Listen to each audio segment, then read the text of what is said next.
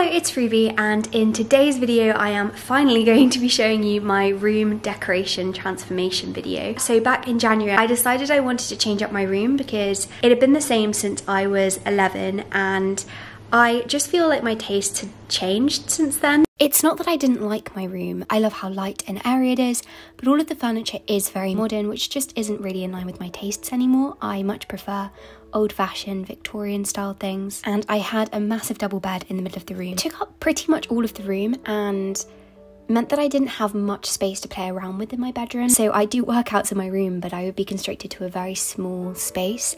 I've been very lucky to have a double bed since I was 11, but I don't really make use of my double bed. And then I also really wanted to get a second bookshelf because my other one is beautiful, but I have a lot of books and I did want to put more on display in my bedroom.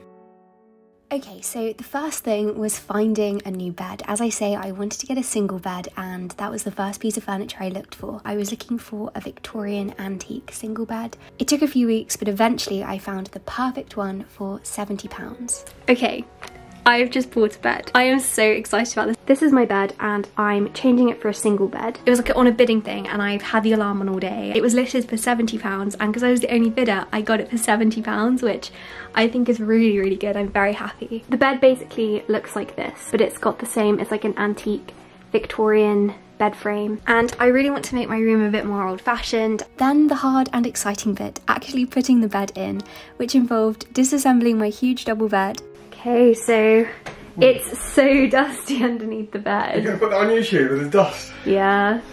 Realistic. Oh my gosh, it's like ridiculous. Yes, it was disgustingly dusty. The issue with this bed, there was no way that I could have moved it to clean underneath without disassembling it. And so it just hadn't been cleaned, which is really disgusting, I know. And I'm so glad that I've been able to clean it now and that my current bed is much easier to clean the underneath of. So dad and I just took that apart and took it out of my room.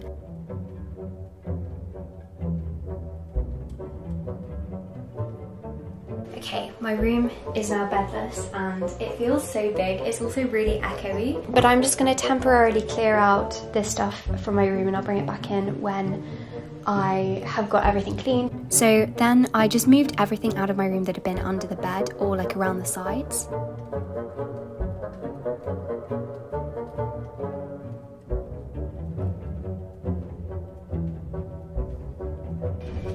Okay, it's now time for the heavy duty cleaning. And then it was time to actually get started on cleaning. I picked up the largest dust bunnies and then I hoovered.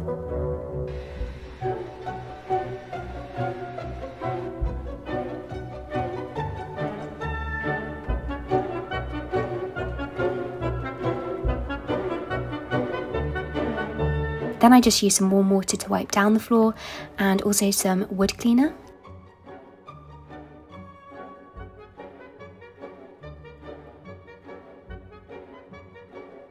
And I also cleaned the skirting boards.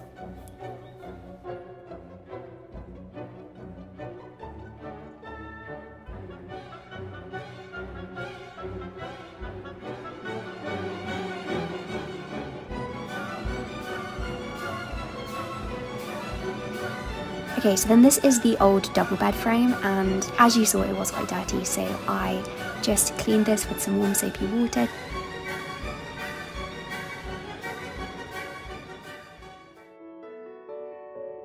And then my dad and I put in and assembled the new single bed which is just beautiful and very very heavy as well. And then after that, I was able to make the bed for the first time, which I actually found very exciting. It's a lot easier to make a single bed than a double bed.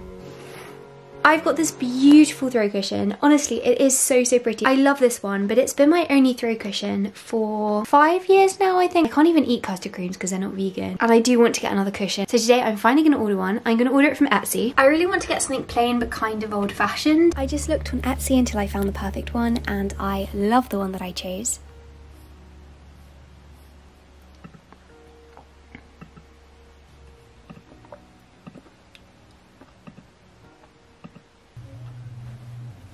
Look as well, my cushion arrived. It's so cute, I love it.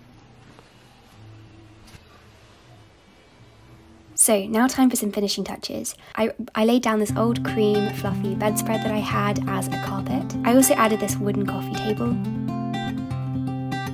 We've been waiting around for too long for something to show. And my dad handmade me this little bedside table for my water because I'd taken out my bedside table and I just wanted a surface to put my water glass on in the evenings.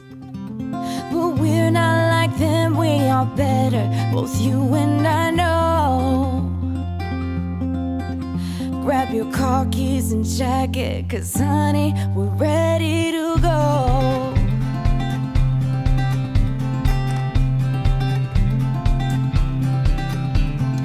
Get in the car and you'll drive.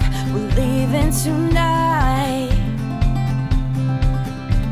Away from these streets and the cold buzzing neon lights. Been keeping our heads above water, struggling and striving. We ain't gonna turn back this time, we'll just keep driving. You've got one hand on money, one hand on the steering, where worlds passing by outside. Then finally, for finishing touches, my dad changed out the handles on my wardrobe for these metal decorative ones. Oh, and there was quite a lot of sorting and organising to do over the course of this redecoration project.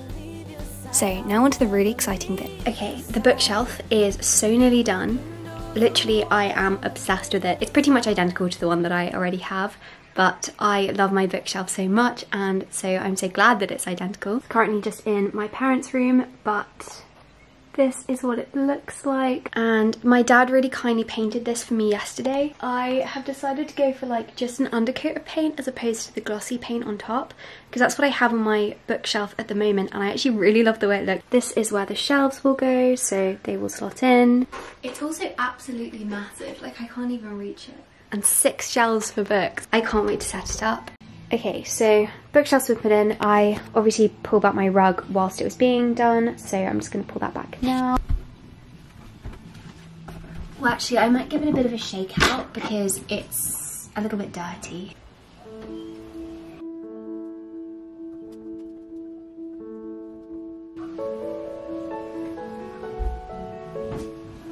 Whilst the bookshelf was put in, I had also put a sheet over my bed so that everything didn't get all dusty.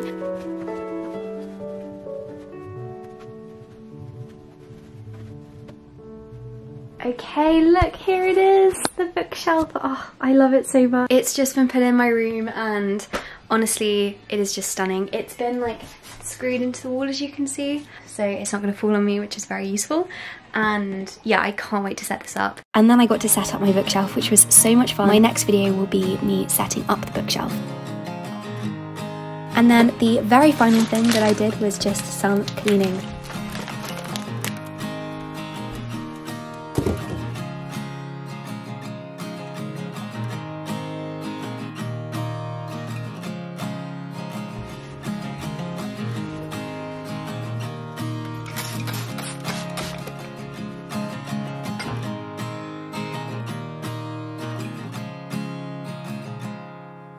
And okay, now the really exciting bit, I can show you the finished product and I love how it turned out so much. It's nicer than I ever could have expected it to be and it just feels so much more me than my old bedroom. Hello and welcome to my new bedroom. So this one is all pretty much the same, I've just got dressing gown and bags hanging up here. This wall is exactly the same as it was as well. I've just got some nice Polaroid photos hanging. But down here I've added a wash basin. I actually used to have a wash basin down here but um, took it out in like 2018. This stool is my mum's. So then here, this is a new addition. I used to have a bedside table here, but my dad actually made me this little stand for um, keeping the things I need during the night. So I've just got some water, hand cream, uh, this little pot with like pens and pillow mist and things. And then above here I've got some really nice postcards. So uh, this is a painting actually that my friend Andrea drew for me, which is really, really, really lovely. And my friend Molly made me this. So then we've got my wardrobe here, nothing has really changed. I've just added like my bonnet and diaries on top. My mum has just uh, very kindly informed me that that is not a bonnet, it is a boater. Um, got mistaken there. My boater is up there. So wardrobe here, um, actually my dad changed out the handles. They used to be like black wooden doorknobs, but these, my mum ordered too many of them, so I stole a few of them. Because you weren't going to use yeah, any of them, right? I know. Okay, so then down here, I really, really like this. I've got this bust pot from Anthropologie and I'm using it to store all of my hair scrunchies. I just put this like twig in, if you can see, there's like a branch that I painted white. And I think it looks quite cool. I actually really like it. Uh, back here I usually keep my yoga mat, but I, that's downstairs at the moment. This is the most exciting thing about my bedroom, and this is the newest edition. This is like the last thing that I was waiting on before filming this video. My new bookshelf. Oh my goodness, I'm so excited to have this new bookshelf and as I say, I will be sharing the bookshelf setup and tour in a separate video just because otherwise it will be too long this video. It's so fantastic to be able to display more of my books because I do have quite a lot of books. So then moving on to this wall, I used to have a scratch away map here, but instead I've got this poster which I got from Waterstones. I think it's by Cavallini & Co. Then we have got my desk here. Not much has changed really at all. So I have got my armchair here. I use an armchair as my desk chair. I used to have this really uncomfortable white plastic chair, but uh, this is the coziest thing and I really love just being able to like move it around. So uh, now that we've moved all the furniture around, I have so much more space. Like, I've got like so much space. Like I can do yoga here or ballet. I've got my beautiful candlestick here. I found this in a charity shop for four pounds. Um, and also this is a matching pot with the other one that I've got the scrunchies in. Oh, always a mug of tea as well on the desk, look. this is a rose tea.